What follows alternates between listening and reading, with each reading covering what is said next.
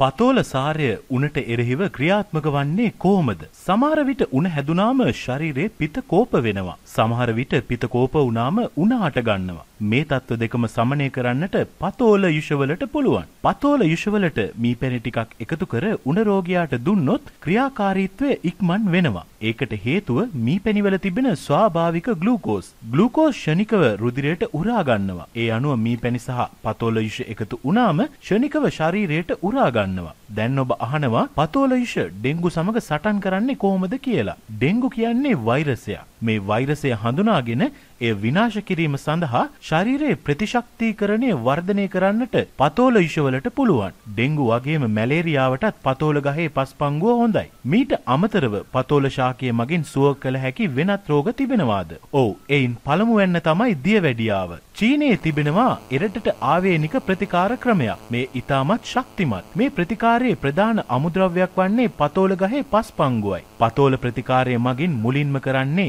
දියවැඩියාව මගින් සිරුරට වන හානිය සමනය කිරීමයි. ඉන්පසු ඒ ක්‍රමයෙන් රෝගය සුව කරන තැනට ගෙන එන්නට පුළුවන්. දියවැඩියාව සුවපත් කරනවා කියන්නේ ශරීරයේ හටගෙන ඇති ඉන්සියුලින් හිගේ මගහරවා එම ඉන්සියුලින් නිෂ්පාදනය කරන තත්ත්වයට අග්න්‍යාශය පත් කිරීමයි. ටයිප් 2 වර්ගයේ දියවැඩියාව පාලනය කර තුරන් කිරීමට පතෝල ගසේ පස්පංගුවට ඉතා ඉක්මනින්ම පුළුවන්. පතෝල කියන්නේ කැලරි අඩුවෙන්ම තිබෙන එළවලුවක්. ඒ නිසා දියවැඩියා රෝගීන්ගේ බර අඩු කරන්න මෙය මූලික වෙනවා. ඊළඟට අපි ගනිමු හෘදයාබාධය. හෘදයේ ඇතිවන වේදනාව සහ ආතතිමය තත්ත්වය නැති කිරීමටත් හෘද ස්පන්දනය ක්‍රමවත් කිරීමටත් පතෝලවලට පුළුවන්. පතෝල යුෂවලට පුළුවන් රුධිර සංසරණය ක්‍රමවත් කරන්න.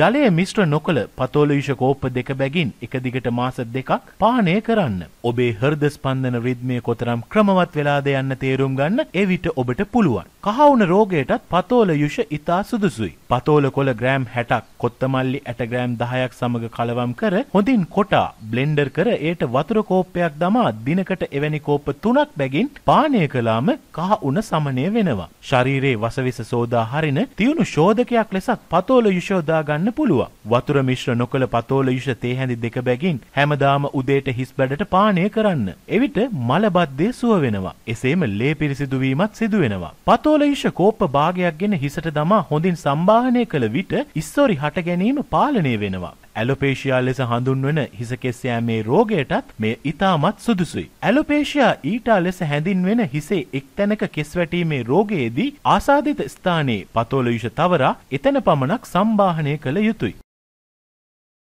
ඔබ නොදත් මෙවැනි තොරතුරු ඇතුළත් වීඩියෝ නැරඹීමට විශ්වකර්ම අපේ YouTube channel එක subscribe කරන්න. ඒ වගේම අපේ Facebook පිටුව like කරලා Facebook කරහා අප සමග එකතු වෙන්නත් අමතක කරන්න එපා.